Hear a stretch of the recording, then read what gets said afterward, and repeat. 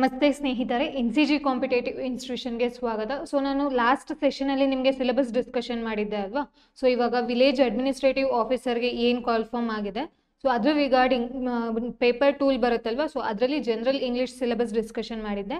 So ನಾನು ಈ video ಸೆಷನಲ್ಲಿ ನಿಮಗೆ ಇವಾಗ ಅಂತ ಅಂದರೆ ಇಂಗ್ಲೀಷಲ್ಲಿ ಹೇಗೆ ಈಸಿಯಾಗಿ ಸ್ಕೋರ್ ಮಾಡೋದು, ಮತ್ತು ಹಾಗೆ K E A previous year question paper F D A S D A exams conduct ಮಾಡಿದ್ರಲ್ವಾ?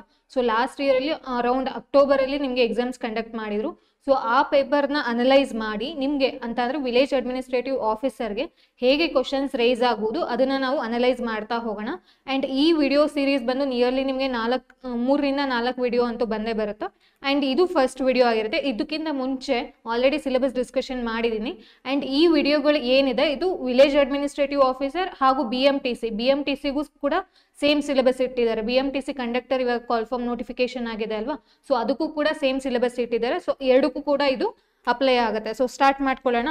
So first question ನೋಡೋದಾದ್ರೆ there is a cut throat competition in the job market the underline word can be replaced with ಅಂತ ಕೇಳಿದ್ದಾರೆ. So ಏನು ಕೇಳಿದ್ದಾರೆ ಇಲ್ಲಿ? Cut throat ಅನ್ನೋದು underline ಆಗಿದೆ. So ಏನು ಹಾಗಾದ್ರೆ? ಮೀನಿಂಗ್ ಏನು ಅಂತ ಕೇಳಿದರೆ ಸೊ ಹಾಗಾದ್ರೆ ಫಸ್ಟ್ ಆಫ್ ಆಲ್ ನಾವು ಕ್ವಶನ್ನ ಅರ್ಥ ಮಾಡ್ಕೊಳ್ಳೋದಾದ್ರೆ ಅವ್ರು ಏನ್ ಹೇಳಕ್ ಹೊರಟಿದ್ದಾರೆ ಅಂದ್ರೆ there is a competition in the job market ಅಂತ ಅಂದ್ರೆ ಏನಾಗುತ್ತೆ ಅದು ನಾರ್ಮಲ್ ಸೆಂಟೆನ್ಸ್ ಆಗುತ್ತೆ. ಹೌದಲ್ವಾ? ಸೊ ಜಾಬ್ ಮಾರ್ಕೆಟ್ ಅಲ್ಲಿ ಆಬ್ವಿಯಸ್ಲಿ ಏನಾಗುತ್ತೆ? ಕಾಂಪಿಟೇಷನ್ ಅಂತೂ ಇದ್ದೇ ಇರುತ್ತೆ. ಹಾಗಾದ್ರೆ ಇಲ್ಲಿ ಕಟ್ ಥ್ರೋಟ್ ಅನ್ನೋದು ಏನಾಗಿ ಹೇಳ್ತಿದ್ದಾರೆ ಅಂತ ಅಂದ್ರೆ ಇದನ್ನ ನಾವು ಅಬ್ಜೆಕ್ಟಿವ್ ಅಂತ ಹೇಳ್ತಾ ಹೋಗ್ತೇವೆ. ಏನ್ ಅಬ್ಜೆಕ್ಟಿವ್ ಅಂತ ಅಂದ್ರೆ? ನೀವು ಕನ್ನಡ ಗ್ರಾಮರಲ್ಲಿ ಓದಿರ್ತೀರ, ವಿಶೇಷಣಗಳು ಅಂತ. ಮೇಯ್ನ್ ಆಗಿ ಅಬ್ಜೆಕ್ಟಿವ್ ಅಂತ ಬಂತು ಅಂದ್ರೆ ನಾಮ ವಿಶೇಷಣ ಅಂತ ಹೇಳ್ಬೋದು ಅಂಡ್ ಅಡ್ವರ್ಬ್ ಬಂತು ಅಂದ್ರೆ ಕ್ರಿಯಾ ವಿಶೇಷಣ ಅಂತ ಹೇಳ್ಬೋದು. ಬಟ್ ಈ ಕನ್ನಡ ಗ್ರಾಮರ್ ಬಂತು ಅಂತ ಪರ್ಟಿಕ್ಯುಲರ್ ಆಗಿ ಅದಕ್ಕೆ ಅದೇ ಇರುತ್ತೆ. ಬಟ್ ಇಂಗ್ಲೀಷಲ್ಲಿ ಕೆಲವೊಂದಷ್ಟು ಎಕ್ಸೆಪ್ಷನ್ಸ್ನ ನಾವು ನೋಡ್ತಾ ಹೋಗ್ತೀವಿ. ಸೊ ಹಾಗಾದ್ರೆ ಕ್ವಶನಿಗೆ ಬಂತು ಅಂದಾಗ ಕಟ್ ಥ್ರೋಟ್ ಅಂತ ಅಂದ್ರೆ ಮೀನಿಂಗ್ ಏನು ಅಂತ ಕೇಳ್ತಿದ್ದಾರೆ. ಸೊ ಇವಾಗ ನಾವು ಇನ್ನೂ ಜನರಲೈಸ್ಡ್ ಫಾರ್ಮೆಟ್ ಅಲ್ಲಿ ಹೇಳೋದಾದ್ರೆ ಫುಲ್ ಕುತ್ಕೆಗೆ ಬಂದ್ಬಿಟ್ಟಿದೆ ಅಂತ ಹೇಳ್ತೀವಲ್ವ? ಏನು ಹಾಗಂದ್ರೆ ಫುಲ್ ಅಂತಂದ್ರೆ ಫುಲ್ ಸೀರಿಯಸ್ ಸಿಚುಯೇಷನ್ ಅಂತ ಹೇಳೋಕ್ಕೆ ನಾವು ಆ ಥರ ಮಾತಾಡ್ತೀವಿ. ಸೊ ಹಾಗಾದ್ರೆ ಇಲ್ಲಿ ಕಟ್ ಥ್ರೋಟ್ ಅಂತ ಮೀನಿಂಗ್ ಏನಂತ ಅಂದ್ರೆ ಇಟ್ ಈಸ್ ಟಫ್ ಅಂತ. ನಾವು ಹೇಗೆ ಆಪ್ಷನ್ಸ್ನ ಎಲಿಮಿನೇಟ್ ಮಾಡೋದು ನೋಡೋಣ. ಸೊ ನೋಡಿ ಇಲ್ಲಿ ಅಬ್ಸರ್ವ್ ಮಾಡಿ ಸ್ಮೂತ್ ಇದೆ ಈಸಿ ಇದೆ. ಸೊ ಸ್ಮೂತ್ ಮತ್ತೆ ಈಸಿ ಆಲ್ಮೋಸ್ಟ್ ಸೇಮ್ ಆಗ್ಬಿಡುತ್ತಲ್ವಾ? ಸೊ ಈಸಿಯಾಗಿ ಅದು ಎಲಿಮಿನೇಟ್ ಆಗುತ್ತೆ. There is a negligible competition ಅಂತ ಏನಾದರೂ ಬರುತ್ತೆ ಜಾಬ್ ಮಾರ್ಕೆಟಲ್ಲಿ ಇಲ್ಲ ಅಲ್ವಾ? ಸೊ ಹಾಗಾದ್ರೆ ಯಾವ್ದು ಆನ್ಸರ್ ಆಗುತ್ತೆ ನಿಮಗೆ? There is a tough competition in the job market ಆಗುತ್ತೆ ಅಲ್ವಾ? ಸೊ ನೆಕ್ಸ್ಟ್ ಕ್ವಶನ್ ನೋಡೋದಾದ್ರೆ dash you please len me your bike ಅಂತ ಕೇಳಿದ್ದಾರೆ fill in the blank with correct option ಅಂತ ಕೇಳಿದ್ದಾರೆ ಸೊ ಯಾವುದು ಕರೆಕ್ಟ್ ಆಪ್ಷನ್ ಆಗುತ್ತೆ ಇಲ್ಲಿ? ವುಡ್ ಆಗತ್ತಾ ಮಸ್ಟ್ ಆಗತ್ತಾ ಡೇರ್ ಆಗತ್ತಾ ಶುಡ್ ಆಗತ್ತಾ? ನೋಡಿ ಅಬ್ಸರ್ವ್ ಮಾಡಿ. Would you please lend me your bike ಅಲ್ವಾ? ಸೊ ಹಾಗಾದ್ರೆ ವುಡ್ ಅನ್ನೋದೇನು ವುಡ್ ಇರ್ಬೋದು ಶುಡ್ ಇರ್ಬೋದು, ಮತ್ತೆ ಮಸ್ಟ್ ಇರ್ಬೋದು, ಹೌದಲ್ವಾ? ಸೊ ಮಾಡೆಲ್ ಆಕ್ಸಿಲರೀಸ್ ಅಂತ ಹೇಳ್ತಾ ಹೋಗ್ತೀವಿ. ಸೊ ಇದರಲ್ಲಿ ಏನ್ ತೆಗಬೇಕು ನಮಗೆ ಮಾಡೆಲ್ ಆಕ್ಸಿಲರೀಸ್ ಅಂತ ಹೇಳ್ತಾ ಹೋದ್ರೆ ಮೇನ್ ವರ್ಬ್ ಅಂತ ಅಂದ್ರೆ ಮುಖ್ಯ ಕ್ರಿಯಾಪದ ಏನಿರುತ್ತಲ್ವಾ ಸೆಂಟೆನ್ಸ್ ಅಲ್ಲಿ ಅದಕ್ಕೆ ಅದ್ರ ಜೊತೆಗೆ ನಾವು ಇದನ್ನ ಬಳಸ್ತಾ ಹೋಗ್ತೀವಿ. ಸೊ ಹಾಗೇನೆ ಇದನ್ನ ನಾವು ಟೆನ್ಸಸ್ ಅಲ್ಲಿ ಬಳಸ್ತಾ ಹೋಗ್ತೀವಿ. ಮಾಡೆಲ್ ಆಕ್ಸಿಲರೀಸ್ನ ನಾವು ತುಂಬಾ ಟೆನ್ಸಸ್ ಅಲ್ಲಿ ಬಳಸ್ತಾ ಹೋಗ್ತೀವಿ. ಸೊ ಹಾಗಾದ್ರೆ ಏನ್ ತೆಗ್ಬೇಕು ನಮಗೆ ಮಾಡಲ್ ಆಕ್ಸಿಲರೀಸ್ ಅಂತ ನೋಡ್ತಾ ಹೋದ್ರೆ, ಒಂದು ಏನಾದ್ರೂ, ಅಂದ್ರೆ ಪಾಸಿಬಿಲಿಟಿ ಹೇಳೋದಿರ್ಬೋದು, ಒಂದು ನೆಸೆಸಿಟಿನ ಹೇಳೋದಿರ್ಬೋದು, ಅಥವಾ ಅಡ್ವೈಸ್ ಮಾಡೋದಿರ್ಬೋದು ಓಕೆನಾ and ability for example you can do that work ಅಂತ ಹೇಳ್ಬೋದಲ್ವಾ? ಸೊ ಅವ್ರ ಎಬಿಲಿಟಿನ ಹೇಳ್ತಿರೋ ಅಂಥದ್ದು ಏನಾಗುತ್ತೆ? ಎಬಿಲಿಟಿ ಇರ್ಬೋದು. ಅಡ್ವೈಸ್ ಮಾಡೋದಕ್ಕೆ ಇದೆಲ್ಲದಕ್ಕೂ ಕೂಡ ನಾವು ಮಾಡೆಲ್ ಆಕ್ಸಲರೀಸ್ನ ಬಳಸ್ತಾ ಹೋಗ್ತೀವಿ. ಸೊ ಹಾಗಾದ್ರೆ ಇಲ್ಲಿ ಯಾವ ಮಾಡೆಲ್ ಆಕ್ಸಿಲರೀಸ್ ನಮಗೆ ಸೂಟಬಲ್ ಆಗುತ್ತೆ ಅಂದ್ರೆ ವುಡ್ ಅನ್ನೋದು ಸೂಟಬಲ್ ಆಗುತ್ತೆ ಓಕೆನಾ so would is the right answer here so observe ಮಾಡಿ, ನಾನು ಇಲ್ಲಿ ಫಸ್ಟ್ ತಗೊಂಡಿರೋ ಪ್ರಿಫರೆನ್ಸು ಪಾರ್ಟ್ಸ್ ಆಫ್ ಸ್ಪೀಚ್ ಆಗಿರುತ್ತೆ. ಯಾಕೆ ಪಾರ್ಟ್ಸ್ ಆಫ್ ಸ್ಪೀಚ್ ಅಂತ ಅಂದ್ರೆ ನಿಮಗೆ K A question paper observe ಮಾಡಿದಾಗ ಫಸ್ಟ್ ಪ್ರಿಫರೆನ್ಸ್ ಬರ್ತಿರೋದೇ ಪಾರ್ಟ್ಸ್ ಆಫ್ ಸ್ಪೀಚ್ ಅದರಲ್ಲೂ ಕೂಡ ನಿಮಗೆ ಫಸ್ಟ್ ಯಾವುದು ಫಸ್ಟ್ ಪ್ಲೇಸಲ್ಲಿ ನಿಂತ್ಕೊಳ್ಳುತ್ತೆ ಅಂದ್ರೆ ಪ್ರಿಪೋಸಿಷನ್ ಪ್ರಿಪೋಸಿಷನ್ ಇರ್ಬೋದು ಅಬ್ಜೆಕ್ಟಿವ್ ಇರ್ಬೋದು ಅಡ್ವರ್ಬ್ ಇರ್ಬೋದು, ಮತ್ತೆ ಪ್ರೊನೌನ್ ಇರ್ಬೋದು. ಸೊ ಪ್ರಿಪೋಸಿಷನ್ ಬಂತು ಅಂದ್ರೆ ನಾನು ಹೇಳ್ತಾ ಹೋಗ್ತೀನಿ ಏನು ಪ್ರಿಪೋಸಿಷನ್ ಮೀನಿಂಗು ಅಂತ. ಇನ್ನೂ ಅದ್ರ ಕ್ವಶನ್ ಬಂದಿಲ್ಲ. ಅಂಡ್ ಅಡ್ವರ್ಬ್ ಬಗ್ಗೆ ನಾನು ಹೇಳಿದೆ ಕ್ರಿಯಾ ವಿಶೇಷಣ ಅಂತ ಹೇಳಿದೆ ಅಬ್ಜೆಕ್ಟಿವ್ ಅಂತ ಅಂದ್ರೆ ನಾಮ ವಿಶೇಷಣ ಅಂತ ಹೇಳಿದೆ. ಸೊ ಹಾಗೇನೆ ಇನ್ನು ನಿಮಗೆ ಕಂಜಂಕ್ಷನ್ ಇರ್ಬೋದು, ಅದೆಲ್ಲ ಕೂಡ ಬರ್ತಾ ಹೋಗುತ್ತೆ. ಪ್ರೊನೌನ್ ಅಂತ ಅಂದರೆ ಗೊತ್ತಿದೆ ನಮ್ಗೆ ಆಲ್ರೆಡಿ ಸರ್ವನಾಮ ಅಂತ. ನಾನು ಆಲ್ರೆಡಿ ಲಾಸ್ಟ್ ಕ್ಲಾಸಲ್ಲಿ ಹೇಳಿದ್ದೀನಿ ನಿಮಗೆ. ಸ್ವಲ್ಪ ಕನ್ನಡ ಗ್ರಾಮರ್ ರಿಲೇಟೆಡ್ನ ಮಾಡ್ಕೊಳ್ತಾ ಹೋಗೋಣ ಓಕೆನಾ meet me dash the entrance of the park ಅಂತ ಇದೆ. So choose the right word to fill in the blank ಅಂತ ಇದೆ. ಸೊ ನೋಡಿ ಅಬೋ ಇದೆ ಅಟ್ ಇದೆ ಟೂ ಇದೆ ಆನ್ ಇದೆ. ಇಲ್ಲಿ ಪ್ರಿಪೋಸಿಷನ್ ಬರುತ್ತೆ. ಏನ್ ಪ್ರಿಪೋಸಿಷನ್ ಅಂತ ಅಂದ್ರೆ ವರ್ಡ್ನ ನಾವು ಬ್ರೇಕ್ ಮಾಡೋಣ? ಸೊ ನೋಡಿ ಅಬ್ಸರ್ವ್ ಮಾಡಿ. ಪ್ರೀ ಪೊಸಿಷನ್ ಪ್ರೀ ಪೊಸಿಷನ್ ಅಂತ ಅಂದ್ರೆ ನೌನ್ ಅಥವಾ ಪ್ರೊನೌನ್ ಏನೇ ಇರಲಿ, ಅದಕ್ಕಿಂತ ಮುಂಚೆ ನಾವು ಇದನ್ನ ಪ್ಲೇಸ್ ಮಾಡಬೇಕಾಗತ್ತೆ. ಅಂಡ್ ಸಮ್ ಟೈಮ್ಸ್ ಏನಾಗುತ್ತೆ ಅಂದ್ರೆ ಇದು ನೌನ್ ಮತ್ತೆ ಪ್ರೊನೌನ್ ಆದ್ಮೇಲೂ ಕೂಡ ಬರೋ ಚಾನ್ಸಸ್ ಇರುತ್ತೆ ಓಕೆನಾ ಸೊ ಇಲ್ಲಿ ಪ್ರಿಪೋಸಿಷನ್ ಕೆಲಸ ಏನು ಅಂತಂದ್ರೆ ವಿತ್ ಇನ್ ಅ ಸೆಂಟೆನ್ಸ್ ಅಲ್ಲಿ ಒಂದು ಒಂದು ಪಾರ್ಟ್ ಆಫ್ ದಿ ಸೆಂಟೆನ್ಸ್ ಇಂದ ಇನ್ನೊಂದು ಪಾರ್ಟ್ ಆಫ್ ದಿ ಸೆಂಟೆನ್ಸ್ಗೆ ಕನೆಕ್ಟ್ ಮಾಡೋದಕ್ಕೆ ನಾವು ಪ್ರಿಪೋಸಿಷನ್ನ ಬೆಳೆಸ್ತೇವೆ. ಸೊ ಅಬ್ಸರ್ವ್ ಮಾಡಿ ಇಲ್ಲಿ, ಅಬೋ ಇದೆ meet me above the entrance at the park ಅಂತ ಹೇಳಕ್ಕಾಗತ್ತಾ? ಆಫ್ ದ ಪಾರ್ಕ್ ಅಂತ? ಇಲ್ಲ. ಸೊ ಅಬೋ ಬರಲ್ಲ. ಅಬೋ ಹಾಗಾದ್ರೆ ಏನ್ ಹೇಳುತ್ತಪ್ಪ ಅಂದ್ರೆ, ಇದು ಒಂದು ಪೊಸಿಷನ್ ಹೇಳುತ್ತೆ. ಪೊಸಿಷನ್ ಹೇಳುತ್ತೆ ಅಲ್ವಾ? ಅಬೋ ಅನ್ನೋದು. ಸೊ ನೆಕ್ಸ್ಟ್ ಅಟ್ ಅಟ್ ಎಲ್ಲಿ ಯೂಸ್ ಮಾಡ್ತೀವಿ. ಅಟ್ನ ನಾವು ಟೈಮ್ ಹೇಳ್ಬೇಕಾದ್ರೆ meet me at ten o'clock ಅಂತ ಹೇಳ್ತೀವಲ್ವಾ? ಸೊ ಹಾಗೇನೆ ಲೊಕೇಶನ್ ಅಂತ ಅಂದ್ರೆ ಸ್ಥಳದ ಬಗ್ಗೆ ಮಾತಾಡ್ಬೇಕಾದ್ರೆ ಫಾರ್ ಎಕ್ಸಾಂಪಲ್ ನಾವು ಇಲ್ಲಿ ಚೂಸ್ ಮಾಡೋದಾದ್ರೆ meet me at the entrance of the park ಸರಿ ಹೋಗುತ್ತಲ್ವಾ ಅದು? ಸೊ ಲೊಕೇಶನ್ ಹೇಳ್ಬೇಕಾದ್ರೂ ಕೂಡ ನಾವು ಏನ್ ಮಾಡ್ತೀವಿ? ಅಟ್ ಪ್ರಿಪೋಸಿಷನ್ ನಾವು ಯೂಸ್ ಮಾಡ್ತೀವಿ. ನೆಕ್ಸ್ಟ್ ಟು ಟು ಎಲ್ಲಿ ಯೂಸ್ ಮಾಡ್ತೀವಪ್ಪ ಅಂದ್ರೆ ಏನಾದ್ರು ಡೈರೆಕ್ಷನ್ಸ್ ಹೇಳ್ಬೇಕಾದ್ರೆ. ಡೈರೆಕ್ಷನ್ಸ್ ಹೇಳ್ಬೇಕಾದ್ರೆ ನಾವು ಟು ಪ್ರಿಪೋಸಿಷನ್ ಯೂಸ್ ಮಾಡ್ತೀವಿ. ಆನ್ ಕೂಡ ಅಷ್ಟೇ. ಆನ್ ನೀವು ಅಬ್ಸರ್ವ್ ಮಾಡಿ ಡೇಟ್ ಹೇಳ್ಬೇಕಾದ್ರೆ. ಮ್ಯಾಕ್ಸಿಮಮ್ ನಾವು ಡೇಟ್ ಹೇಳ್ಬೇಕಾದ್ರೆ ನಾವು ಆನ್ ಪ್ರಿಪೋಸಿಷನ್ ಹೇಳ್ತೀವಿ. For example on eighth of August ಟ್ವೆನ್ two thousand twenty three ಅಂತ ಹೇಳ್ಬೋದಲ್ವಾ? ಸೊ ಡೇಟ್ ಹೇಳ್ಬೇಕಾದ್ರೆ ನಾವು ಆನ್ ಪ್ರಿಪೋಸಿಷನ್ ಯೂಸ್ ಮಾಡ್ತೀವಿ. ಸೊ ಹಾಗೆ ನೆಕ್ಸ್ಟ್ ನೋಡೋದಾದ್ರೆ Rahim sat dash his father ಅಂತ ಇದೆ. Choose the right option to fill in the blank ಅಂತ ಕೇಳಿದ್ದಾರೆ. ಸೊ ಆಪ್ಷನ್ಸ್ ಏನಿದೆ ಅಂದ್ರೆ, ಅವೇ ಇದೆ ಬಿಸೈಡ್ಸ್ ಇದೆ ಟೂ ಇದೆ ಬಿಸೈಡ್ ಇದೆ. ಸೊ ಇಲ್ಲೂ ಅಬ್ಸರ್ವ್ ಮಾಡಿ ಇದು ಕೂಡ ಪ್ರಿಪೋಸಿಷನ್ ಮೇಲೆ ಬಂದಿರುವಂತಹ ಕ್ವಶನ್ ಇವಾಗ ಪಾರ್ಟ್ಸ್ ಆಫ್ ಸ್ಪೀಚ್ ಅಲ್ಲಿ ತುಂಬಾ ನೋಡ್ತಾ ಹೋಗ್ತೀವಿ. ನಾವು ನೋಡ್ತೀವಿ ಪ್ರನೌನ್ ನೋಡ್ತೀವಿ ಅಬ್ಜೆಕ್ಟಿವ್ ನೋಡ್ತೀವಿ ಅಡ್ವರ್ಬ್ ನೋಡ್ತೀವಿ ಕಂಜಂಕ್ಷನ್ ಪ್ರಿಪೋಸಿಷನ್ ಇಂಟರ್ಜೆಕ್ಷನ್ ಇದೆಲ್ಲಾನು ಕೂಡ ನೋಡ್ತಾ ಹೋಗ್ತೀವಿ. ಸೊ ಹಾಗಾದ್ರೆ ಎಲ್ಲದಕ್ಕೂ ಇಂಪಾರ್ಟೆನ್ಸ್ ಕೂಡ ಅವಶ್ಯಕತೆ ಇದೆಯಾ? ಮತ್ತೆ ಯಾವ್ದಾವ್ದು ಕೊಡಬೇಕು ಅದನ್ನು ಕೂಡ ತಿಳ್ಕೊಬೇಕು. ಸುಮ್ಮನೆ ರ್ಯಾಂಡಮ್ ಆಗಿ ಓದಕ್ಕಾಗಲ್ಲ ಅಲ್ವಾ? ಯಾಕಂದ್ರೆ ನಮ್ಮ ಹತ್ರ ಇರೋ ಟೈಮಿಂಗ್ಸ್ ಎಷ್ಟಿದೆ? ತ್ರೀ ಟು ಫೋರ್ ಮಂತ್ಸ್ ಸಿಗ್ಬೋದು ಅಷ್ಟೇ ಸೊ ಅದರಲ್ಲಿ ಬರೋದು ಅಂತಂದ್ರೆ ಪೇಪರ್ ಟು ಬಂತು ಅಂದಾಗ ಇರೋದೇ ಮೂರು ಸಬ್ಜೆಕ್ಟು ಸೊ ಇರೋ ಮೂರು ಸಬ್ಜೆಕ್ಟ್ ಅಲ್ಲಿ ಇನ್ನೂ ಯಾವುದಕ್ಕೆ ಇಂಪಾರ್ಟೆನ್ಸ್ ಕೊಡ್ಬೇಕು ಅನ್ನೋದನ್ನ ನಾವು ನೋಡ್ತಾ ಹೋಗುತ್ತೆ. ಸೊ ಇಲ್ಲಿ ಆನ್ಸರ್ ಯಾವ್ದಪ್ಪ ಅಂದ್ರೆ ಬಿಸೈಡ್ ಅನ್ನೋದು ಆನ್ಸರ್ ಆಗುತ್ತೆ. ಯಾಕೆ ಅಂತ ಅಂದ್ರೆ ಬಿಸೈಡ್ ಅನ್ನೋದು ಏನಾಗುತ್ತೆ ಅಂದ್ರೆ ಮೀನಿಂಗು ನೆಕ್ಸ್ಟ್ ಟು ಅನ್ನೋದನ್ನ ಮೀನಿಂಗ್ ಕೊಡುತ್ತೆ. ಅಂತ ಅಂದ್ರೆ Rahim sat next to his father ಅಂತ ಬರುತ್ತೆ. ಅವೇ ಬರುತ್ತಾ. ಅವೇ ಅಂತ ಅಂದ್ರೆ ದೂರ ಆಗ್ಬಿಡುತ್ತೆ. ಬಿಸೈಡ್ಸ್ ಬರಲ್ಲ. ಓಕೆನಾ ಸೊ ಟೂ ಕೂಡ ಇಲ್ಲಿ ಸೂಟಬಲ್ ಆಗೋದಿಲ್ಲ. ಸೊ ಫಸ್ಟ್ ನಾವು ಪಾರ್ಟ್ಸ್ ಆಫ್ ಸ್ಪೀಚ್ ಬಗ್ಗೆ ಹೇಳಬೇಕಾದ್ರೆ ನಾವು ಪ್ರಿಪೋಸಿಷನ್ ಇಲ್ಲಿ ಅಂತಾರೆ K A point of view ಬಂತು ಅಂದಾಗ ನಮಗೆ ಇಂಪಾರ್ಟೆಂಟ್ ಆಗುತ್ತೆ. ನೆಕ್ಸ್ಟ್ ನೋಡೋಣ. I am hungry dash you ಅಂತ ಇದೆ. ಸೊ ಇದಕ್ಕೆ ಯಾವ್ದಪ್ಪ ಕರೆಕ್ಟ್ ಪ್ರಿಪೋಸಿಷನ್ ಇದು ಕೂಡ ಪ್ರಿಪೋಸಿಷನ್ ಮೇಲೆ ಕೇಳಿರೋದು. ನಾನು ನಿಮಗೆ ಎಫ್ ಡಿ ಎ ಮತ್ತು S D A question paper ಇದೆ ಗೊತ್ತಾ? ಅವೆರಡೂ ಕೂಡ ಕಂಬೈನ್ ಮಾಡಿ ನಾನು ನಿಮಗೆ ಇಲ್ಲಿ ಅನಲೈಸ್ ಮಾಡ್ತಿದ್ದೀನಿ ಯಾಕೆಂದರೆ ಎರಡೂ ಕೂಡ ಇಂಪಾರ್ಟೆಂಟ್ ಇರುತ್ತೆ. And V A V A O ಮತ್ತು ಬಿ ಎಂ ಟಿ ಸಿ ಎರಡಕ್ಕೂ ಕೂಡ ಇದು ಇಂಪಾರ್ಟೆಂಟ್ ಆಗುತ್ತೆ. ಸೊ ಇಲ್ಲಿ ಯಾವುದಪ್ಪ ರೈಟ್ ಆನ್ಸರ್ ಪ್ರಿಪೋಸಿಷನ್ ಯಾವುದು ಅಂತಂದರೆ ವಿತ್ ವಿತ್ ಪ್ರಿಪೋಸಿಷನ್ ಇಲ್ಲಿ ಸೂಟಬಲ್ ಆಗುತ್ತೆ. Among the students the poor dash were given uniform and books free of cost ಅಂತ ಇದೆ. ಸೊ ಇಲ್ಲಿ ನಿಮ್ಗೆ ಕನ್ಫ್ಯೂಷನ್ ಮಾಡಬೇಕು ಅಂತಾನೆ ಈ ತರ ಆಪ್ಷನ್ ಕೊಟ್ಟಿರೋದು. ಒನ್ಸ್ ಬರುತ್ತಾ? ನೋಡಿ ಅಬ್ಸರ್ವ್ ಮಾಡಿ ಒನ್ಸ್ ಬರುತ್ತಾ? ಒನ್ಸ್ ಅಪಾನ್ ಎ ಟೈಮ್ ಅಂತ ಹೇಳ್ಬೇಕಾದ್ರೆ ಈ ಪದನ ನಾವು ಬಳಸೋದು, ಅಲ್ವಾ? ಒಂದಾನೊಂದು ಕಾಲದಲ್ಲಿ ಅಂತ ಹೇಳ್ತೀವಲ್ವಾ? ಸೊ ಆ ಟೈಮಿಂಗ್ಸ್ ಅಲ್ಲಿ ನಾವು ಇದನ್ನ ಬಳಸೋದು. ನೆಕ್ಸ್ಟ್ ಈ ಒನ್ಸ್ ಏನು ಹಾಗಾದ್ರೆ? ಈ ಒನ್ಸ್ ಇದನ್ನ ಕಾಂಟ್ರಡಿಕ್ಷನ್ ಅಂತ ಹೇಳ್ತಾ ಹೋಗ್ತೇವೆ. ಕಾಂಟ್ರಡಿಕ್ಷನ್ ಆಫ್ ಒನ್ ಅಂತ ಓಕೆನಾ ಪೊಸೆಷನ್ನ ಹೇಳ್ತಾ ಇರುತ್ತೆ ಸೊ ಇದು ಕೂಡ ಇಲ್ಲಿ ಸೂಟಬಲ್ ಅಲ್ಲ. ಒನ್ ಅನ್ನೋದು ಸೂಟಬಲ್ ಆಗತ್ತಾ? ಈ ಒನ್ ಮತ್ತೆ ಒನ್ಸ್ ಏನಿದೆ, ಇದನ್ನ ಇಂಪರ್ಸನಲ್ ಪ್ರೊನೌನ್ ಅಂತ ಹೇಳ್ತೀವಿ. ಇಂಪರ್ಸನಲ್ ನೀವು ಆಕ್ಚುಲಿ ಅಂದ್ರೆ ಇವಾಗ ನೌನ್ ಅಂತ ಅಂದ್ರೆ ನೌನಲ್ಲಿ ಹೇಗೆ ಟೈಪ್ಸ್ ಬರುತ್ತೋ ಹಾಗೆ ಪ್ರೊನೌನಲ್ಲೂ ಕೂಡ ಟೈಪ್ಸ್ ಬರ್ತಾ ಹೋಗುತ್ತೆ. ಸೊ ಇಲ್ಲಿ ಒನ್ ಅನ್ನೋದು ಇಟ್ ಇಸ್ ಸಿಂಗ್ಯುಲರ್ ಏಕವಚನ ಆಗಿರುತ್ತೆ ಒನ್ಸ್ ಅಂದ್ರೆ ಇದು ಪ್ಲೂರಲ್ ಯಾಕೆ ನಾವು ಇಲ್ಲಿ ಪ್ಲೂರಲ್ ಚೂಸ್ ಮಾಡಬೇಕು? ಯಾರ ಬಗ್ಗೆ ಮಾತಾಡ್ತಿದೀವಿ? ಸ್ಟೂಡೆಂಟ್ಸ್ ಬಗ್ಗೆ ಮಾತಾಡ್ತೀವಿ ಸ್ಟೂಡೆಂಟ್ಸ್ ಅನ್ನೋದು ಏನಾಗುತ್ತೆ? ಪ್ಲೂರಲ್ ಆಗತ್ತಲ್ವಾ? ಸೊ ಆದ್ರಿಂದ ಅಮಾಂಗ್ ದ ಸ್ಟೂಡೆಂಟ್ಸ್ ಸ್ಟೂಡೆಂಟ್ಸ್ ಅಲ್ಲಿ ಯಾರು ಪುವರ್ ಅಂತಾರೆ, ಯಾರು ಬಡವರು ಇದಾರೋ ಅವ್ರಿಗೆ ನಾವು ಯೂನಿಫಾರ್ಮ್ ಕೊಡ್ತಿದೀವಿ ಅನ್ನೋದನ್ನ ಹೇಳ್ತಾ ಇರೋದು ಓಕೆನಾ ಸೊ ಯೂನಿಫಾರ್ಮ್ ಮತ್ತೆ ಬುಕ್ಸ್ನ ಫ್ರೀ ಆಫ್ ಕಾಸ್ಟ್ ಆಗಿ ಕೊಡ್ತಿದೀವಿ ಅಂತ. ಸೊ ಅಬ್ಸರ್ವ್ ಮಾಡಿ, ಯಾವಾಗ ನಾವು ಅಪಾಸ್ಟ್ರಫಿ ಬಳಸಬೇಕು, ಯಾವಾಗ ಬಳಸಬಾರ್ದು, ಅದು ಕೂಡ ಕ್ವಶನ್ಸ್ ಆಗತ್ತಲ್ವಾ? ಸೊ ಎಲ್ಲಾನು ಕೂಡ ಎಲ್ಲಾ ಡೈಮೆನ್ಷನ್ ಇಂದ ತಿಳ್ಕೊಂಡಿದ್ರೆ ಮಾತ್ರ ನಮ್ಗೆ ಆಪ್ಷನ್ಸ್ ಎಲಿಮಿನೇಟ್ ಮಾಡಕ್ ಈಸಿ ಆಗುತ್ತೆ. ಇಲ್ಲ ಅಂತಂದ್ರೆ ಕಷ್ಟ ಆಗ್ತಾ ಹೋಗುತ್ತೆ. ಸೊ ನೆಕ್ಸ್ಟ್ ಕ್ವಶನ್ ನೋಡೋದಾದ್ರೆ, ಇದೆಲ್ಲ ಕೂಡ ನಿಮ್ಗೆ ಯಾವ್ದ್ರಲ್ಲಿ ಬರ್ತಿರೋದು? ಪಾರ್ಟ್ಸ್ ಆಫ್ ಸ್ಪೀಚ್ ಅಲ್ಲಿ ಬರ್ತಾ ಇರೋದು. One of the students dash absent ಅಂತ ಇದೆ. ಇಲ್ಲಿ ಒಂದ್ ಸ್ವಲ್ಪ ಟ್ರಿಕ್ಕಿ ಇದೆ. ಅಬ್ಸರ್ವ್ ಮಾಡಿ fill in the blank with the correct option ಅಂತ ಇದೆ. ಸೊ ಈಸ್ ಬರುತ್ತಾ ಆರ್ ಬರುತ್ತಾ ವರ್ ಬರುತ್ತಾ ಆಮ್ ಬರುತ್ತಾ? One of the students dash absent ಇಲ್ಲಿ ನಿಮ್ಗೆ ಏನ್ ಅನ್ಸುತ್ತೆ ಅಂದ್ರೆ ಸ್ಟೂಡೆಂಟ್ಸ್ ಅನ್ನೋದು ಏನಾಗುತ್ತೆ ಇಲ್ಲಿ? ಪ್ಲೂರಲ್ ಇದೆ. ಸೊ ಅದಕ್ಕೆ ಪ್ಲೂರಲ್ ಚೂಸ್ ಮಾಡ್ಬೇಕು ಅಂತ ಅನ್, ಅನ್ಕೊಂತೀರಾ? ಸೊ ಪ್ಲೂರಲ್ ಯಾವ್ದಿದೆ? ಆರ್ ಇದೆ ಮತ್ತೆ ವರ್ ಇದೆ. One of the students were absent ಅಂತ ಬರುತ್ತಾ? ತಪ್ಪು.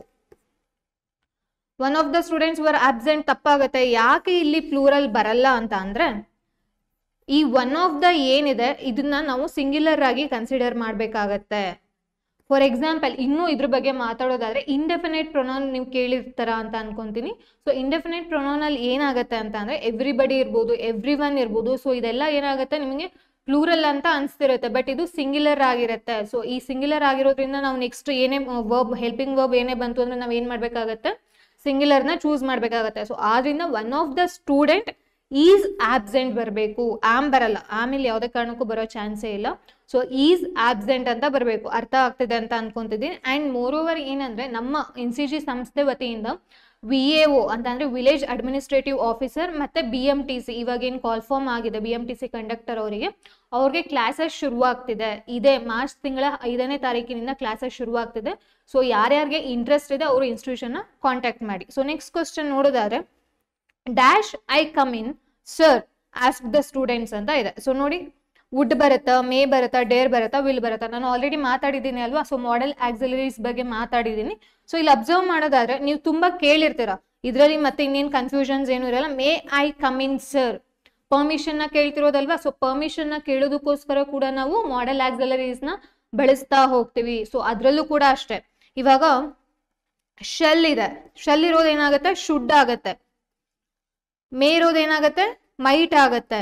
ಮಾಡೆಲ್ ಆಕ್ಸಿಲರೀಸ್ ಬಂತು ಅಂದಾಗ ಯೂಶಲಿ ನಾವು ಪಾಸ್ಟ್ ಫಾರ್ಮ್ನ ಯೂಸ್ ಮಾಡ್ತಾ ಹೋಗ್ತೀವಿ ಓಕೆನಾ ಸೊ ಇಲ್ಲಿ ಯಾವ್ದು ಸೂಟಬಲ್ ಅಂತಂದ್ರೆ may I come in sir ನಾನು ಒಳಗಡೆ ಬರಬಹುದಾ ಅನ್ನೋದನ್ನ ಪರ್ಮಿಷನ್ನ ನ ಕೇಳ್ತಿರೋದು ಅಲ್ವಾ?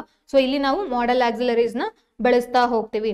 Identify the adverb from the underline words ಅಂತ ಇದೆ. ಸೊ ಅಡ್ವರ್ಬ್ ಬಗ್ಗೆ ನಾನು ಆಲ್ರೆಡಿ ಮಾತಾಡಿದ್ದೀನಿ. ಸೊ ಇಲ್ಲಿ ನಿಮ್ಗೆ ಯಾವುದು ಅಡ್ವರ್ಬ್ ಅಂತ ಅನ್ಸುತ್ತೆ ಅಂದ್ರೆ, ನೋಡಿ the bad habits grow unconsciously ಅಂತ ಇದೆ. ಇಲ್ಲಿ ನಿಮ್ಗೆ ಯಾವ್ದು ಅನ್ಸುತ್ತೆ? ಆಬ್ವಿಯಸ್ಲಿ ಗ್ರೋ ಅಲ್ವಾ? ಅಡ್ವರ್ಬ್ ವರ್ಬ್ ಹೇಳ್ತಿದೆ ಅಲ್ವಾ? ಸೊ ಒಂದ್ ಅಬ್ಸರ್ವ್ ಮಾಡಿ, ಇಲ್ಲಿ, ಅಂದ್ರೆ ಇಲ್ಲಿ ಈ ಸೆಂಟೆನ್ಸ್ ಅಲ್ಲಿ ಯಾವುದೇ ಮೇನ್ ವರ್ಬ್ ಇಲ್ಲ. ಸೊ ಇರೋದು ಇದು ಒಂದೇ ವರ್ಬ್ ಗ್ರೋ ಅನ್ನೋದು ಒಂದೇ ವರ್ಬ್ ಅಂಡ್ ಅದು ಅಡ್ವರ್ಬ್ ಆಗಿದೆ. ಅಂಡ್ ಇನ್ನು ಅಡ್ವರ್ಬಿಗೆ ನಾವು ಎಕ್ಸಾಂಪಲ್ಸ್ ಕೊಡೋದಾದ್ರೆ ಕ್ವಿಕ್ಲಿ ಓಕೆನಾ ಕ್ವಿಕ್ಲಿ ಇರ್ಬೋದು ಸ್ಮೂತ್ಲಿ ಇರ್ಬೋದು, ಮತ್ತೆ ಆಲ್ವೇಸ್ ಇರ್ಬೋದು. ಇದೆಲ್ಲನೂ ಕೂಡ ಅಡ್ವರ್ಬ್ ಆಗತ್ತೆ. ಓಕೆನಾ ಕ್ರಿಯಾ ವಿಶೇಷಣವಾಗಿ ಇದು ವರ್ಕ್ ಆಗುತ್ತೆ. ನೆಕ್ಸ್ಟ್ ನೋಡೋಣ. Identify the preposition from the underline words ಅಂತ ಇದೆ. ನೋಡಿ, ಇದು ಇದಾಗಲೇ ಪ್ರಿಪೋಸಿಷನ್ ನಾಲ್ಕನೇ question they have friendship among themselves ಅಂತ ಇದೆ. ನೋಡಿ, ಯಾವ್ದು ಪ್ರಿಪೋಸಿಷನ್ ಆಗಿ ವರ್ಕ್ ಆಗ್ತಿದೆ ಇಲ್ಲಿ? ಅಬ್ವಿಯಸ್ಲಿ ಅಮಾಂಗ್ ಅಲ್ವಾ? ಸೊ ಪ್ರಿಪೋಸಿಷನ್ ಅಂತ ಅಂದ್ರೆ ಏನು? ಅದಿನ್ನ ಅದ್ ಇದ್ರ ಬಗ್ಗೆ ಇನ್ನೂ ತಿಳ್ಕೊಳ್ಳೋದಕ್ಕೆ ನಿಮ್ಗೆ ಇನ್ನೂ ಆಸಕ್ತಿ ಇತ್ತು ಅಂತಂದ್ರೆ ದಯವಿಟ್ಟು ಇನ್ಸ್ಟಿಟ್ಯೂಷನ್ ಕಾಂಟ್ಯಾಕ್ಟ್ ಮಾಡಿ ಅವ್ರು ನಿಮ್ಗೆ ಇನ್ಫಾರ್ಮೇಶನ್ ಕೊಡ್ತಾರೆ. So they have friendship among they'll themselves ಅಂತ ಇದೆ. ಇಲ್ಲಿ ಇನ್ನೊಂದು ಅಬ್ಸರ್ವ್ ಮಾಡಬೇಕು. ದೆಮ್ ಸೆಲ್ಸ್ ಅನ್ನೋದು ಏನಂತ ಹೇಳ್ತಾರೆ? ಇಂಗ್ಲೀಷ್ ಗ್ರಾಮರಲ್ಲಿ ಬಂತು ಅಂದಾಗ. ಇದನ್ನ ನಾವು ರಿಫ್ಲೆಕ್ಸಿವ್ ಪ್ರೊನೌನ್ಸ್ ಅಂತ ಹೇಳ್ತಾ ಹೋಗ್ತೀವಿ. ರಿಫ್ಲೆಕ್ಸಿವ್ ಪ್ರೊನೌನ್ಸ್ ಅಂತ ಹೇಳ್ತಾ ಹೋಗ್ತೇವೆ. ಫಾರ್ ಎಕ್ಸಾಂಪಲ್ ಇಲ್ಲಿ ಯಾಕೆ ಇದನ್ನ ನಾವು ಪ್ಲೂರಲ್ ಅಂತ ಹೇಳ್ತೀವಿ. ಯಾಕೆ ಇದು ಪ್ಲೂರಲ್ ನಮ್ಗೆ ಆಲ್ರೆಡಿ ಗೊತ್ತಿದೆ. ದೆಮ್ ಅನ್ನೋದು ಏನಾಗುತ್ತೆ? ಪ್ಲೂರಲ್ ಆಗುತ್ತೆ. ಸೊ ದೆಮ್ ಸೆಲ್ಸ್ ಅನ್ನೋದು ಕೂಡ ಏನಾಗುತ್ತೆ? ಪ್ಲೂರಲ್ ಹಾಕ್ತಾ ಹೋಗುತ್ತೆ. So our ourselves her herself him himself ಅಂತ ಹೇಳ್ತಾ ಹೋಗ್ತೀವಲ್ಲ ಗೊತ್ತಾ? ಸೊ ಇದೆಲ್ಲ ಏನ್ರಲ್ಲಿ ಬರುತ್ತಪ್ಪ ಅಂದ್ರೆ ರಿಫ್ಲೆಕ್ಸಿವ್ ಪ್ರೊನೌನ್ಸ್ ಅಲ್ಲಿ ಬರ್ತಾ ಹೋಗುತ್ತೆ. Identify the noun clause in the sentence ಅಂತ ಕೇಳಿದ್ದಾರೆ. She told me that she would be grateful to me if I gave her the book of her interest ಅಂತ ಹೇಳಿದ್ದಾರೆ. ಸೊ ಇಲ್ಲಿ ಅಬ್ಸರ್ವ್ ಮಾಡೋದಾದ್ರೆ ಯಾವ್ದಪ್ಪ ನೌನ್ ಅಂತ ಅಂದ್ರೆ it is B B is the right answer replace the proper prepositional phrase call in this evening if you can I have something to discuss ಅಂತ ಹೇಳ್ತಿದ್ದಾರೆ. So ಇಲ್ಲಿ ಆಪ್ಷನ್ಸ್ ನಾವು ನೋಡೋದಾದ್ರೆ ಕಾಲ್ ಆಫ್ ಇದೆ ಕಾಲ್ ಆನ್ ಇದೆ ಕಾಲ್ ಎಟ್ ಇದೆ call for ಇದೆ. ಯಾವುದು ರೈಟ್ ಆನ್ಸರ್ ಇಲ್ಲಿ? Call on is the right answer call on this evening if you can I have something to discuss ಅಂತ ಹೇಳ್ತಾ ಇರೋದು. I have begun to drink dash coffee ಅಂತ ಇದೆ. ಸೊ ಇಲ್ಲಿ ನಾರ್ಮಲ್ ಆಗಿ ನಾವು ಮಾತಾಡ್ಬೋದಿತ್ತು ಅಂತ ಅಂದ್ರೆ I have begun to drink coffee ಅಂತ ಹೇಳ್ಬೋದಿತ್ತು. ಬಟ್ ಇಲ್ಲಿ ಅಬ್ಸರ್ವ್ ಮಾಡಿ ನಾವು ವಿಶೇಷಣನ ಆಡ್ ಆನ್ ಮಾಡ್ತಿದ್ದೀವಿ ಅಲ್ವಾ? ಸೊ ಹಾಗಾದ್ರೆ ಏನ್ ಯೂಶಲಿ ಮಾತಾಡ್ತೀವಿ? ನಾವು ಸ್ಟ್ರಾಂಗ್ ಕಾಫಿ ಅಂತ ಅಲ್ವಾ ಮಾತಾಡೋದು? ಇದು ಯೂಶಲ್ ಆಗಿ ನೀವು ಹಾಕ್ತೀರಾ? ಈ ತರ ಜನ್, ಅಂದ್ರೆ ನಾರ್ಮಲ್ ಆಗಿ ಡೈಲಿ ಯೂಸ್ ಮಾಡ್ತೀವಲ್ವ ವರ್ಡ್ಸು ಸೊ ಈ ತರ ಬಂತು ಅಂದಾಗ ನೀವು ಮ್ಯಾಕ್ಸಿಮಮ್ ಹಾಕಿರ್ತೀರಾ? ಬಟ್ ಯಾವ ಪಾರ್ಟ್ ಆಫ್ ದಿ ಗ್ರಾಮರ್ ನಿಮ್ಗೆ ಇದು ಸರಿ ಹೋಗ್ತಿದೆ? ಎಲ್ಲಿ ಬರ್ತಿದೆ ಇದು ಅಂತ ಗೊತ್ತಿಲ್ಲದೆ ನೀವು ಆನ್ಸರ್ ಮಾಡೋಕ್ಕಾಗಲ್ಲ. ಈ ತರ ಬೇರೆ ಕ್ವಶನ್ಸ್ ಬಂದಾಗ. ಸೊ ಆದ್ರಿಂದ ಗ್ರಾಮರ್ನ ಕಂಪ್ಲೀಟ್ ಆಗಿ ನೀವು ತಿಳ್ಕೊಬೇಕಾಗತ್ತೆ. So strong is the right answer so ಹಾಗಾದ್ರೆ ಇಲ್ಲಿ ಸ್ಟ್ರಾಂಗ್ ಅನ್ನೋದು ಏನಾಗಿ ವರ್ಕ್ ಆಗ್ತಿದೆ ಅಂದ್ರೆ ಅಬ್ಜೆಕ್ಟಿವ್ ಆಗಿ ವರ್ಕ್ ಆಗ್ತಿದೆ. ಓಕೆನಾ ವಿಶೇಷಣವಾಗಿ ವರ್ಕ್ ಆಗ್ತಿದೆ. Identify the verb from the underline word ಅಂತ ಇದೆ.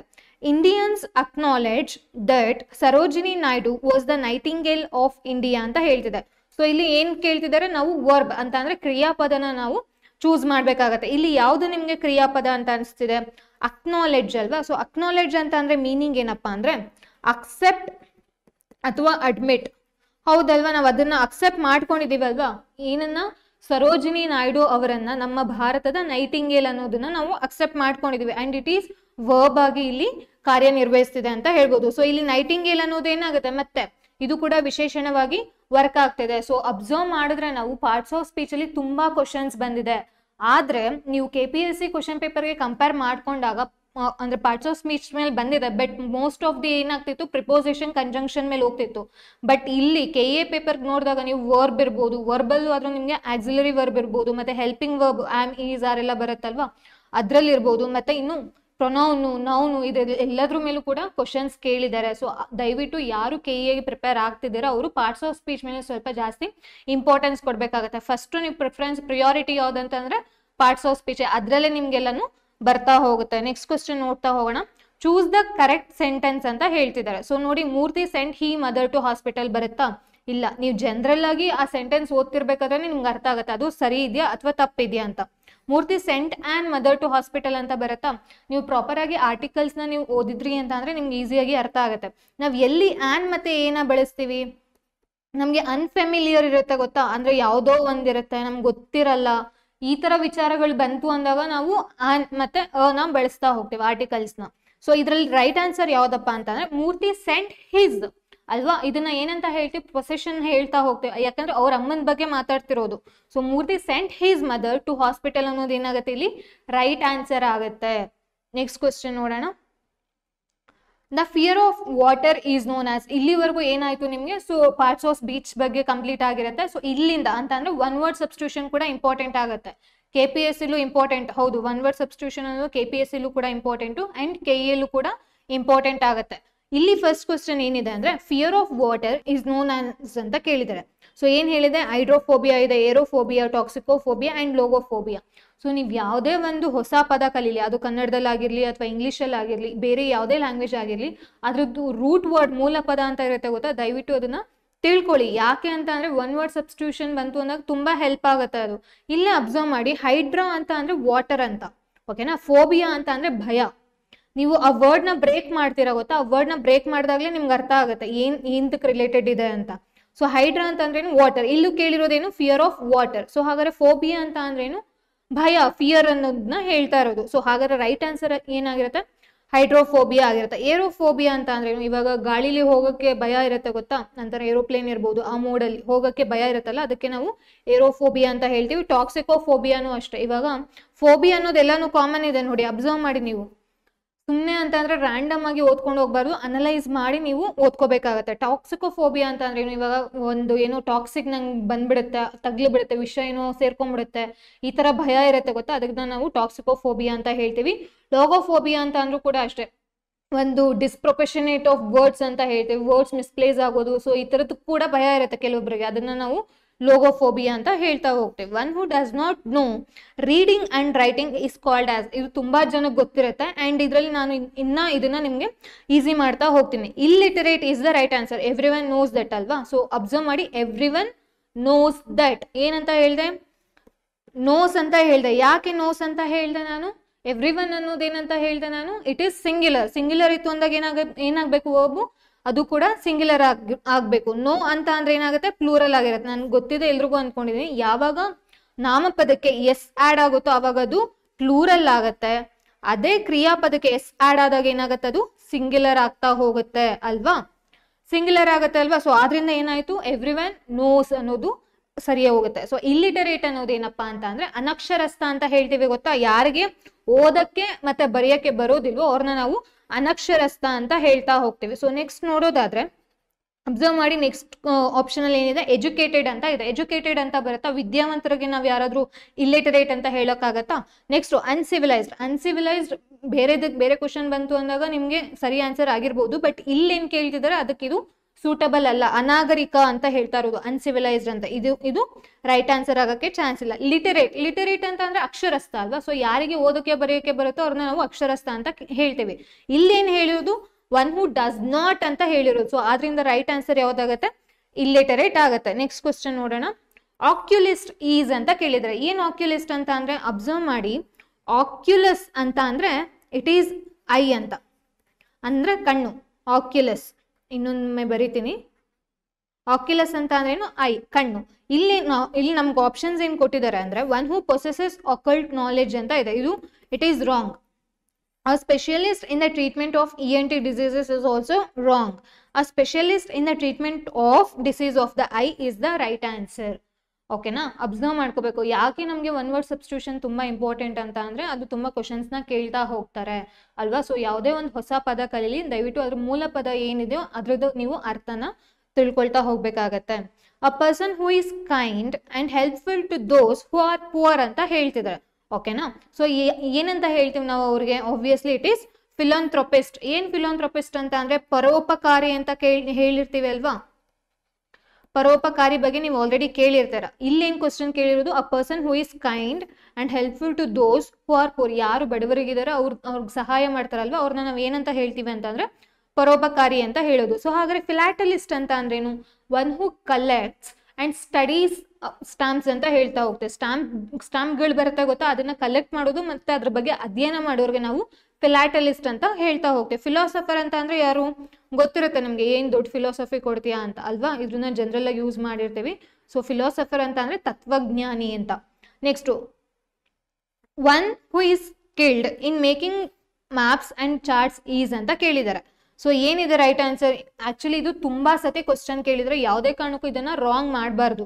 ಇದು ಇಟ್ ಈಸ್ ಆನ್ಸರ್ ಏನ್ ಆನ್ಸರ್ ಅಂತ ಅಂದ್ರೆ ಫೋಟೋಗ್ರಾಫರ್ ನೀವು ಬರೀ ಅಂತ ಅಂದ್ರೆ ಇವಾಗ ಕೆ ಇಂದ ಬರೀ ಎರಡು ಕ್ವಶನ್ ಪೇಪರ್ ಮಾತ್ರ ಸಿಕ್ಕಿದೆ ನಮಗೆ ಎಫ್ ಡಿ ಎ ಮತ್ತೆ ಎಸ್ ಡಿ ಎ ಬೇರೆದು ಇನ್ಯಾವುದೂ ಸಿಕ್ಕಿಲ್ಲ ಅಂತ ಅನ್ಕೊಂಡು ಬರೀ ಎರಡು ಕ್ವಶನ್ ಪೇಪರ್ ಮಾತ್ರ ರಿವಿಷನ್ ಮಾಡಿಕೊಂಡು ಇದೆಲ್ಲ ಮಾಡಬಾರ್ದು. ಆ್ಯಂಡ್ ನಿಮಗೆ ಕೆ ಎಲ್ ಕೂಡ ಜೂನಿಯರ್ ಅಸಿಸ್ಟೆಂಟ್ ಮೇಲೆ ಕೂಡ ಒಂದು ಕ್ವಶನ್ ಪೇಪರ್ ಇದೆ.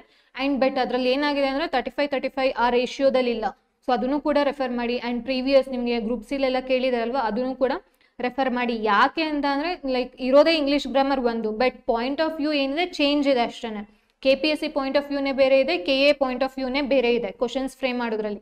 ಬಟ್ ಕೆಲವೊಂದಷ್ಟು ಟಾಪಿಕ್ಸ್ ಫಾರ್ ಎಕ್ಸಾಂಪಲ್ ಇವಾಗ ಪ್ರಿಪೋಸಿಷನ್ ಇರ್ಬೋದು, ಮತ್ತು ಒನ್ ವರ್ಡ್ ಸಬ್ಸ್ಟಿಟ್ಯೂಷನ್ ಇರ್ಬೋದು, ಇವೆಲ್ಲ ಕೂಡ ಸೇಮ್ ಇರುತ್ತೆ. ಸೊ ಆದ್ರಿಂದ ಅಲ್ಲಿ ಕೇಳಿರೋ ಕ್ವಶನ್ಸ್ ಇಲ್ಲಿ ಬರಬಾರದಂತ ಏನಿಲ್ಲ ಅಲ್ವಾ? ಸೊ ಪ್ರೀವಿಯಸ್ ಇಯರ್ ಕ್ವಶನ್ ಪೇಪರಿಂದ ಡೈರೆಕ್ಟ್ ಆಗಿ ಬರೋ ಚಾನ್ಸಸ್ ಕೂಡ ಇರುತ್ತೆ. ಆ್ಯಂಡ್ ಯಾವ ರೀತಿ ನೀವು ಆ ಕ್ವಶನ್ನ ಸಾಲ್ವ್ ಮಾಡ್ತೀರಾ, ಹೇಗೆ ಆಪ್ಷನ್ಸ್ನ ಎಲಿಮಿನೇಟ್ ಮಾಡ್ತೀರಾ ಅನ್ನೋದು ಕೂಡ ಇಂಪಾರ್ಟೆಂಟ್ ಆಗುತ್ತೆ. ಸೊ ಆದ್ರಿಂದ ಕ್ವಶನ್ ಪೇಪರ್ಸ್ನ ರಿವಿಷನ್ ಮಾಡಿ. A person who is having only one wife is called ಇದು ಕೂಡ ತುಂಬಾ ಸತಿ ಕೇಳಿದ್ದಾರೆ ಅಲ್ವಾ? ಸೊ ಫಸ್ಟ್ ಫಿಲಾಂಥ್ರಪಿಸ್ಟ್ ಫಿಲಾಂಥ್ರಪಿಸ್ಟ್ ಬಗ್ಗೆ ನಾವು ಆಲ್ರೆಡಿ ಮಾತಾಡಿದ್ವಿ. ಏನ್ ಫಿಲಾಂಥ್ರಪಿಸ್ಟ್ ಅಂತ ಅಂದ್ರೆ ಪರೋಪಕಾರಿ ಅಂತ ಹೇಳಿದ್ವಿ ಅಲ್ವಾ? ನೆಕ್ಸ್ಟ್ ಪಾಲಿಯಾಂಡ್ರಿಸ್ಟ್ ಇದೆ. ಪಾಲಿಗಮಿಸ್ಟ್ ಇದೆ ಅಂಡ್ ಮೋನೋಗಮಿಸ್ಟ್ ಇದೆ. ಅಬ್ಸರ್ವ್ ಮಾಡಿ, ಪಾಲಿ ಅನ್ನೋದು ಎರಡು ವರ್ಡ್ ಇದೆ. ಪಾಲಿ ಅಂದ್ರೆ it is more than one ಅಂತ. ಅರ್ಥ ಆಗ್ತಿದೆಯಾ? ಮೋನೋ ಅಂತ ಅಂದ್ರೆ ಒಂದೇ. ಮೋನೋ ಅಂದ್ರೆ ಒನ್ನು ಪಾಲಿ ಅಂತ ಅಂದ್ರೆ ಮೋರ್ ದನ್ ಒನ್ ಇಲ್ಲಿ ಎರಡು ಎರಡು ಅಬ್ಸರ್ವ್ ಮಾಡ್ಬೇಕಾಗಿದೆ. ಎಂ ಐ ಎಸ್ ಟಿ ಇದೆ. ಇಲ್ಲೂ ಕೂಡ ಎಂ ಐ ಎಸ್ ಟಿ ಇದೆ. ಅರ್ಥ ಆಗ್ತಿದೆಯಾ? ಇಲ್ಲೇನು ಕೇಳಿರೋದು? A person who is having only one wife ಅಂತ ಕೇಳಿದ್ದಾರೆ. ಅಲ್ವಾ? ಒನ್ ವೈಫ್ ಅಂತ ಅಂದ್ರೆ ಒಬ್ರು ಅಂತ. ಸೊ ಒಬ್ರು ಅನ್ನೋದು ಇಲ್ಲಿ ಮೀನಿಂಗ್ ಎಲ್ಲಿ ಕೊಡ್ತಿದೆ? ಒಬ್ವಿಯಸ್ಲಿ ಇಟ್ ಈಸ್ ಮೋನೋಗಮಿಸ್ಟ್ ಅಲ್ವಾ? ಸೊ ಯಾರು ಒಂದು, ಅಂದ್ರೆ ಏಕಪತ್ನಿ ವ್ರತಸ್ಥ ಅಂತ ಹೇಳ್ತೀವಿ ಗೊತ್ತಾ? ಅವ್ರನ್ನ ನಾವು ಏನಂತ ಹೇಳ್ತೀವಿ? ಮೋನೋಗಮಿಸ್ಟ್ ಅಂತ ಹೇಳ್ತೀವಿ. ಸೊ ಹಾಗಾದ್ರೆ ಈ ಒಬ್ರಿಗಿಂತ ಜಾಸ್ತಿ ವೈಫ್ ಅಂತ ಅಂದ್ರೆ ಒಬ್ರಿಗಿಂತ ಬಹುಪತ್ನಿತ್ವ ಅಂತ ಏನ್ ಹೇಳ್ತೀವಿ? ಅವ್ರು ಅಂತಾನೆ ಯಾರು ಮದ್ವೆ ಆಗಿರ್ತಾರೋ ಅವ್ರಿಗೆ ನಾವೇನಂತ ಹೇಳ್ತೀವಿ? It is polygamist and poly polyandrist ಅಂತ ಅಂದ್ರೆ ಏನು? ಹಾಗಾದ್ರೆ ಯಾರು ಒಬ್ಬ ಒಬ್ಬ ಪರ್ಸನ್ಗಿಂತ ಇನ್, ಎರಡು, ಮೂರು ನ ಹೊಂದಿರ್ತಾರಲ್ಲ ಮಹಿಳೆಯರು, ಅವ್ರಿಗೆ ನಾವು ಪಾಲಿಯಾಂಡ್ರಿಸ್ಟ್ ಅಂತ ಹೇಳ್ತಾ ಹೋಗ್ತೀವಿ. ಸೊ ಈ ಸೆಷನ್ ಇಲ್ಲಿಗೆ ಕಂಪ್ಲೀಟ್ ಆಗತ್ತೆ. ಸೊ ಇವಾಗ ಏನಿದೆ, ಇದು ಇವಾಗ ಇನ್ನು ಸ್ಟಾರ್ಟ್ ಮಾಡಿದೀವಿ. ಇದು ನಿಮಗೆ ವಿ ಎ ಒ ಮತ್ತೆ B M T C conductor ಅಂದರೆ ಎರಡಕ್ಕೂ ಕೂಡ ಅಪ್ಲೈ ಆಗುತ್ತೆ. And it is only in part one ಓಕೆನಾ ಪಾರ್ಟ್ ಒನ್ ಮಾತ್ರ ಆಗಿರುತ್ತೆ. ನೆಕ್ಸ್ಟ್ ಸೆಷನಲ್ಲಿ ನಾನು ಮತ್ತೆ ಸಿಗ್ತೀನಿ. Thank you